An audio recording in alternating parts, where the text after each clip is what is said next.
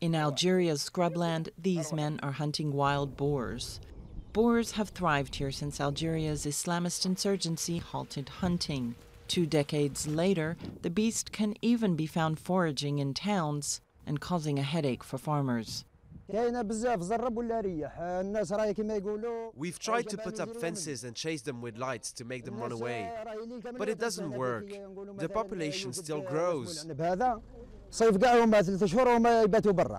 Hunting was once hugely popular here, with an estimated 60,000 hunters slaughtering tens of thousands of boars a year. In the early 1990s, during the height of the battle with Islamists, authorities confiscated weapons to prevent them from falling into the hands of militants. The ban is still in place, but special permission is given for boars.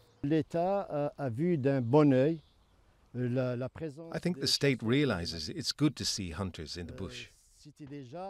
It's an initial sign of stability, and that security issues are under control.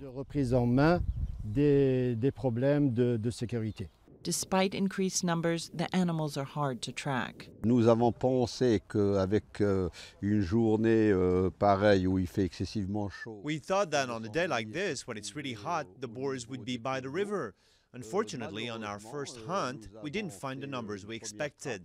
Et nous n'avons pas trouvé euh, euh, la quantité de sangliers escomptée.